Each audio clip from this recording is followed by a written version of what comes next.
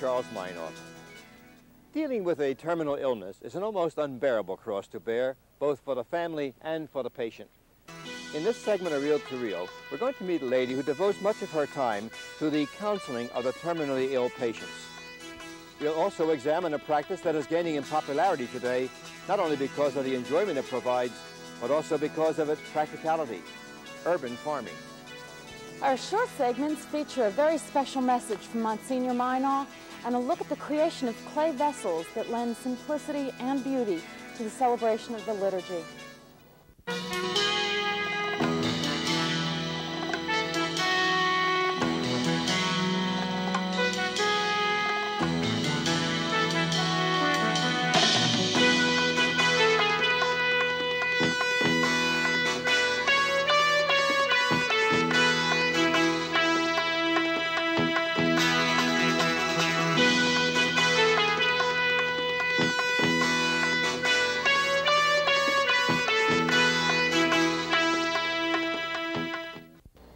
Just this year alone, some 800,000 men, women, and children across the country were diagnosed as having cancer. As you can well imagine, this diagnosis places a tremendous emotional burden both on the person and on their families. And sometimes they seek the help of a practiced therapist who skillfully, almost lovingly, guides them through their emotional response to this diagnosis. We found such a person. She is Janet Kay, cancer patient counselor at the Medical College of Pennsylvania.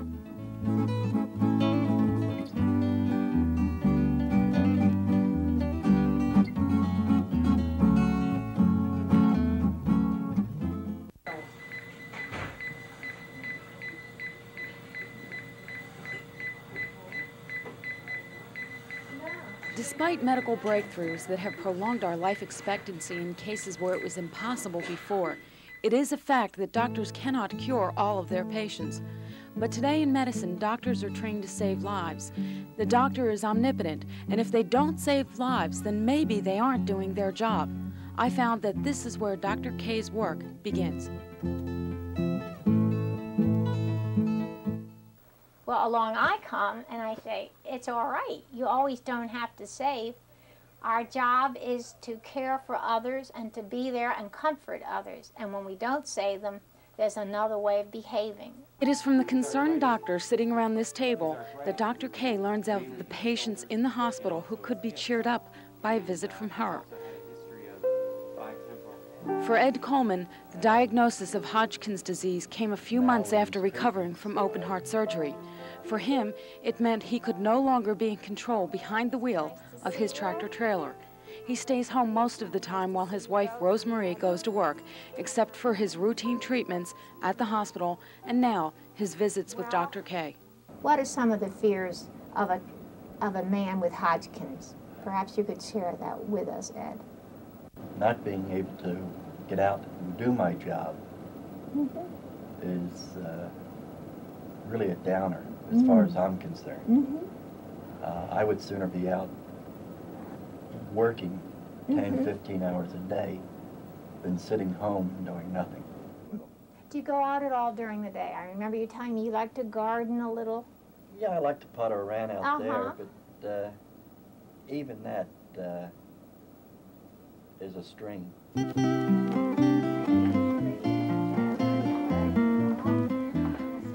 Uh, we have a great big house, a great big Oh, is that right? And uh -huh. uh, Ed has now been limited to some of the things that he can do, which now leaves a lot of this heavy, burdensome work on me. -huh. And uh, that's a lot of the strain. I didn't realize how much of the odds and ends he was doing that I'm now picking up. According to Dr. Kay, cancer patients experience many of the same fears during the course of their illnesses, such as the fear of annihilation, the fear of loneliness and of complete isolation, the fear of death by pain or by suffocation. For Ed, it is the fear of falling or causing further injury to himself and even possibly, as a result, to suffer a setback in his illness that keeps him away from the things he enjoys and could still do. The couple that uh, I worked with earlier this morning, Ed and Rose Marie. Now, one of the things he mentioned during our session together that he feels a little less of a man because he's weaker now and his wife is taking over many of the roles he had in the family, such as mowing the lawn, taking out the garbage, this type of thing. And he feels less a man. Mm -hmm. Now, many people, when there is illness in a family, there is role change where the woman has to start taking over some of the roles, and children have to start mowing the lawn. And you have to let a family know when there's illness, this is okay, this is natural, and that you're, as a family unit, you have to learn to redistribute the roles. Now, this is a way that we can help by talking about it, by getting it out in the open, that you're still a man, and you don't have to be a man to mow the lawn. You can just be a man from sitting there and talking to me mm -hmm. and making me feel good when they know I'm there to listen, it's mm-hmm. almost as if you're taking away a dam, everything opens up. Oh, I'm so glad you're here. I have had no one to talk to. My husband's too afraid to talk to me, and my relatives all pretend I'm going to get well and walk out the door. I mean, for them, it's a release.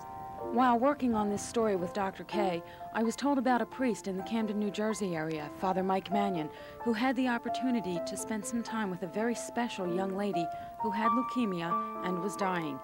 You might remember reading about Robin Noble, whose last several months of her life were the subject of a series of articles in a local newspaper published just about a year ago. Robin had one very important question for Father Mike. If she died before her 18th birthday, would she be kept out of the adult section of heaven where her parents and older sisters would eventually go? My thoughts to Robin were, God loves you as you. And if you go to heaven as an adult, and you need to be an adult in heaven. God loves you as you. Robin's first concern was not about her death. It was, I want to get closer to my family so we can share about really important things before I die. That was Robin's first concern. And she systematically had it planned almost when she was going to die. She went to the hospital four or five days before and said goodbye to the doctors and nurses that she had known for seven or eight years. Stopped the chemotherapy, the treatment, and then died four days later. Dr. Kay, could you describe or explain some of the immediate or acute needs that your patients have? Patient finds out he or she has cancer. Many people seek to avoid them. Mm -hmm. Cancer, the big C, oh, you're going to be dead. Um, it's catching. I better not eat in the same room with you. In fact, I don't think I'm going to visit you anymore the employer is a little concerned, oh, you have cancer, you aren't going to be giving me a good work day, you can get fired very quickly. I mean, there are so many misconceptions with the disease. Once you take personhood away from a dying person, there's not a lot left to cope with. Even your faith support system seems to be weak. Oh, we'll do everything for you. We'll take care of this. We'll do that. And of course, with all the good intentions, you might be demasculating the person, depersonalizing the individual with all good intentions of compensating for his or her physical weakness or psychological depression. Often it's the crazy little things that hit first. Do I have to quit jogging? Can I go to the baseball game next week? Some may deny the doctor's diagnosis and seek a second opinion. Others remain hopeful that they'll be cured and still others will disregard their own physical pain and worry only about leaving behind the people who do depend on them. Often, it's not so much that they're afraid of dying, it's that they have so many things they haven't done yet and still want to do. For Robin, it was reaching her 18th birthday. For Ed, it's fishing. You asked me about a special lady before. Well, she's very special. She came to me and she had never wore slacks. She's in her 60s. And she said, oh, maybe I shouldn't wear slacks. I said, go on, try it. so she wore slacks. That was number one. She had never been on an airplane, and she wanted to visit her brother in Florida. And we talked. We spent sessions about what it meant traveling and going to an airport carrying a suitcase.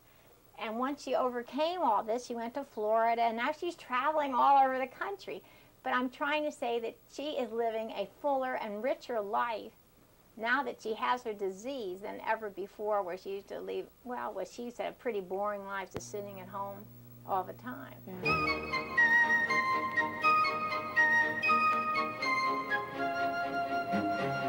Yeah.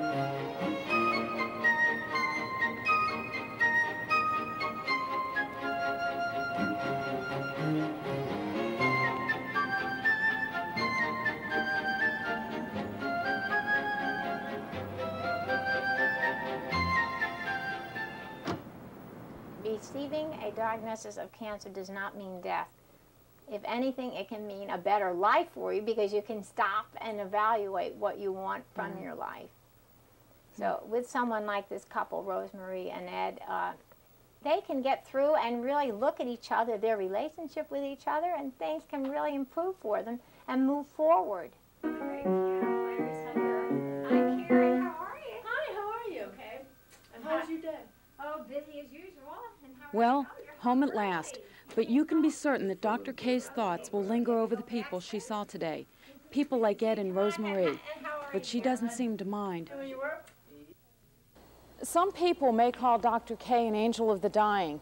I think she would prefer to be called an angel of the living. And Ed and Rosemarie, thank you for being part of our story. Our prayers are with you.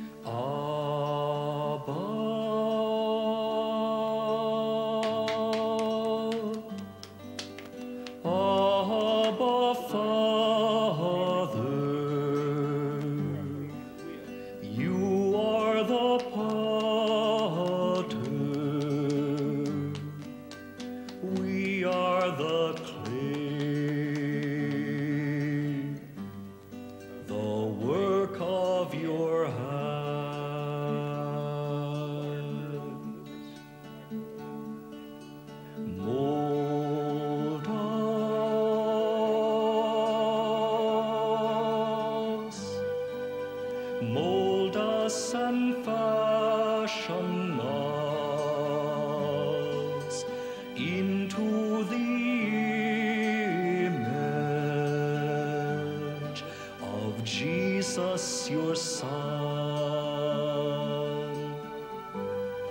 of Jesus, your Son.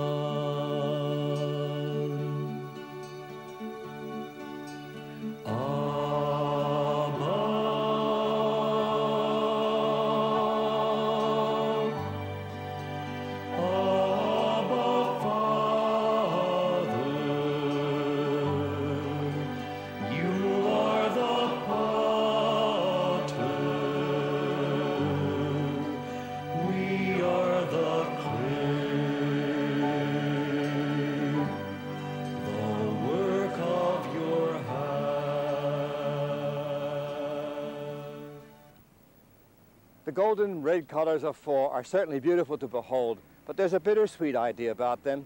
For as lovely as they are, they seem to indicate to us separation. We're now separate from the lively, lovely tones of springtime, and we know now the fullness of summer is all gone. And as soon as these leaves fall and this ground becomes hard, winter will have set in. We know life is still there, but we're separate from it. And when the chill of winter comes, we have to discover a new dimension to living in separation. For while it's cold, we must remember life in separation is always a chilling experience. It is not only the seasonal changes which bring about to us the idea of life in separation, there are the day-to-day -day routine things that happen to us. There's, for instance, that we have to leave each other and go away and be apart one from the other. That's separation. There's a separation takes place in every relationship when there is anger between the partners. And of course, Physical illness always causes a separation in a relationship. But in all those and other examples of life and separation, it's important that we continue to develop the dimension of a new love within it. So that if I am angry with you or you with someone else, it's important that we be the first ones to do what we can to reconciliation or to say, I am sorry or apologize. And sick people will do the best they can to suppress their pain so as not to disturb those who are well. And when we are apart one from the other, we live a new dimension of loving because we cannot wait for the moment when we see each other once again. Of all the situations of life and separation, the most difficult, obviously, is the one that death causes. For when death separates us one from the other, we have a whole new experience. But I wonder if it should be so new. Perhaps it's such a difficult experience for us because we do not experience it sufficiently in our day-to-day separations. So that if we work harder at the diligent love we have for each other in those separations which take place day by day, we then will be more prepared to receive and to work at the experience of separation by death. For we are Christians, and we believe in the resurrection of the body and life everlasting. The Lord promised it personally, and we know that when we are united one again with the other in our resurrection with the Lord, we shall never have to say goodbye again.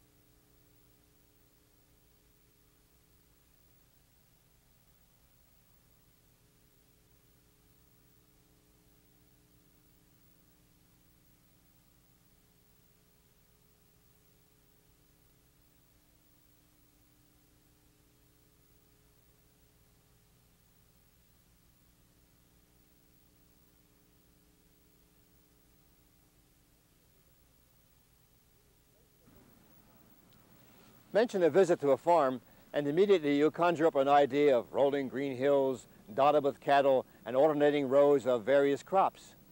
But in recent years, farming has taken on a new meaning. In New York City, for instance, urban farming has become as familiar as, say, the Empire State Building or the Statue of Liberty.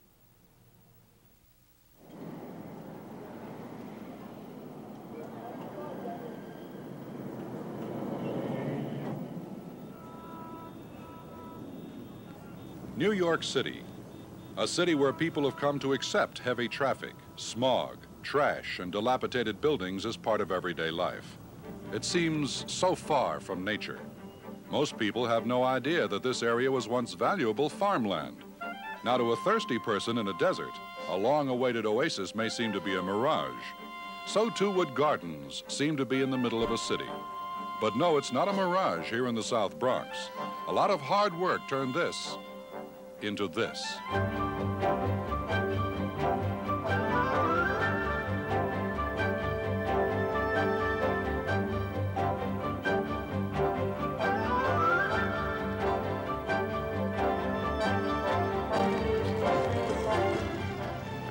Gary Waldron is the man who first conceived of the idea of city farming.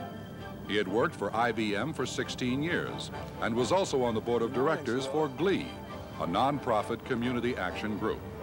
One year, he took a leave of absence from IBM to develop an urban farming project for GLIE.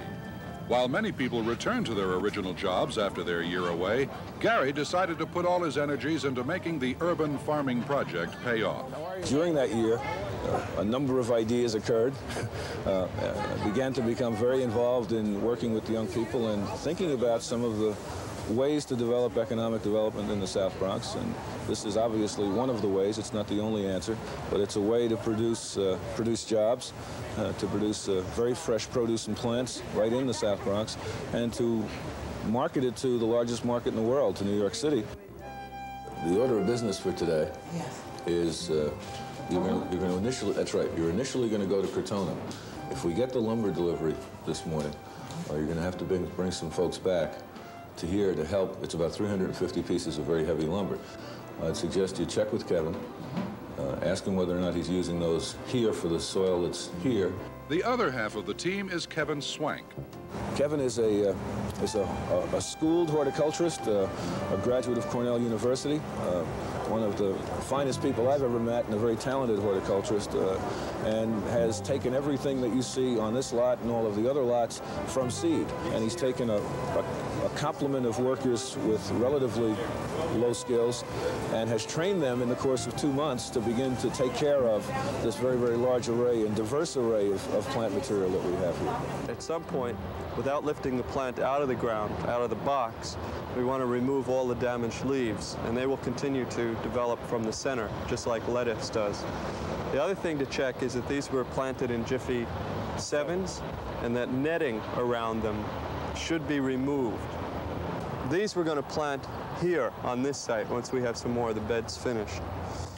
There's a lot of learning going on here. Seems there's good growing soil for plants and people. A lot of these are ready to be potted up right away. The roots have, you know, clearly come through these jiffy strips, and they're ready for new pots. These city farms began to spring up just last April. Initial aid came from CETA, HEW, and New York State Youth Employment, as well as a few private grants. Then GLIE leased land from the city for a few hundred dollars a month.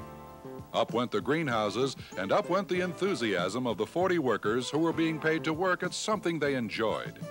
Even with future funding in question, these city farmers should be okay. Their five sites are already almost self-supporting. We're growing um, an assortment of things, some of which are currently not being grown much in this country. A lot of which are, a lot of the plants that we're growing are being imported at the moment. This is a gourmet garden. A great variety of fine herbs is grown along with exotic vegetables like Cornish cucumbers. That's because rare vegetables are far more profitable for the urban farmer to grow than the everyday vegetables. We're not in a position to be in, in, and can't run competition with large nurseries or, or large-scale farms, Jersey, Long Island, Westchester. You know, we're, we're urban farmers. We're, this is, this is, we don't have much space. We're limited. So, now, the seeds for this radicchio came all the way from Paris. It's one of the items that's imported at the moment. Not very many people are growing this in this country, and it's kind of hard to come by. So one of the ways we make this operation work is to select and identify crops that for those reasons are somehow more valuable than snap beans that somebody in Jersey could grow 50 acres of. The whole purpose of the project is to sustain employment, to keep people in jobs. And the only way we can do it is to use our space effectively, use our know-how very effectively. We've got to stand on our own two feet here. And that's just what these folks are doing. There are 10 workers on each crew. Jim Fleming, a former psychologist, is one of the crew chiefs. My um, thing has to be motivation. I have to show them, not only just tell them what to do, but make them understand why they have to do it. Because a lot of times when you just tell somebody, you know, hey, go ahead and do this kind of work and whatever, they won't understand and they won't have as much enthusiasm to it. But they feel they're learning at the same time, then it's a lot different. It's funny because a lot of my friends when I tell them that I'm doing this, they really, you know, laugh and say, how in the world can you be doing farming in the Bronx? Come on. But when I show them the pictures, it's like, wow, you know, you're really actually doing those things. One of the nice parts about the whole greening process is that it has a, a certain aesthetic associated with it. Uh, you obviously are taking uh, abandoned and vacant and rubble-strewn lots and changing them into something that's more attractive and, in this particular case, more functional. That, that it's a functional use of space, it's an aesthetically attractive use of space, and it's a job producer. Over here, what you see is a wall that uh, was built by the workers here. This is the first time they've ever attempted to do it. Just took cement, and rocks and bricks and rubble, whatever they can put together, and they built the whole wall up. Work goes on at the five different sites all day long. It's hard, it's hot, and it's heavy, but it's worth it.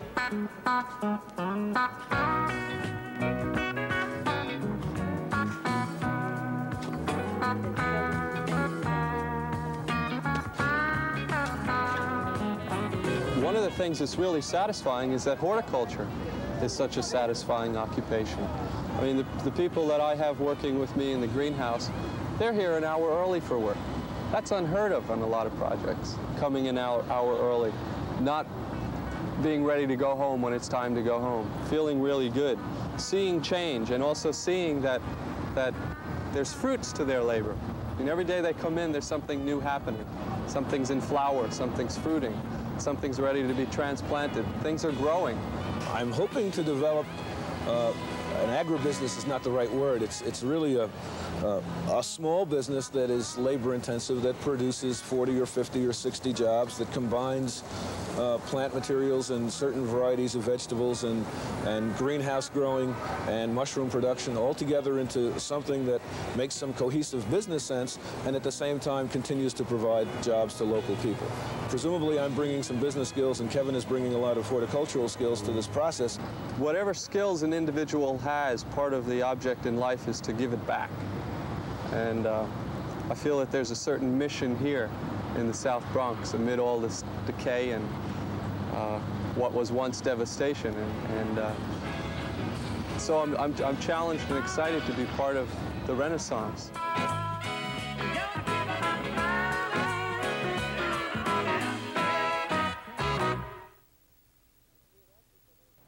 We have asked you so many times to write us, and many of you do, and you say such nice things, and we're pleased. One I'd like to share with you. It came the other day from Mary Ellen Traveling from Wood Heights, New Jersey. Real to Reel came on TV the other night right after I had been watching 60 Minutes. The contrast between the two was amazing. The beauty of Real to Reel brought tears to my eyes and hope to my heart. Maybe that seems trite, but it's the truth. All I can say is thanks, and we thank you very much. Next week, we'll begin a two-part examination of the disturbing and rising presence of cults in our society and see how they can change the personality of those who become cult members. We'll also look at the permanent diaconate program in a distant diocese of Fairbanks, Alaska. Our short segments feature Father Bruce Ritter on Runaway Kids. As always, it's so good to be with you. Thanks for joining us, and God bless you.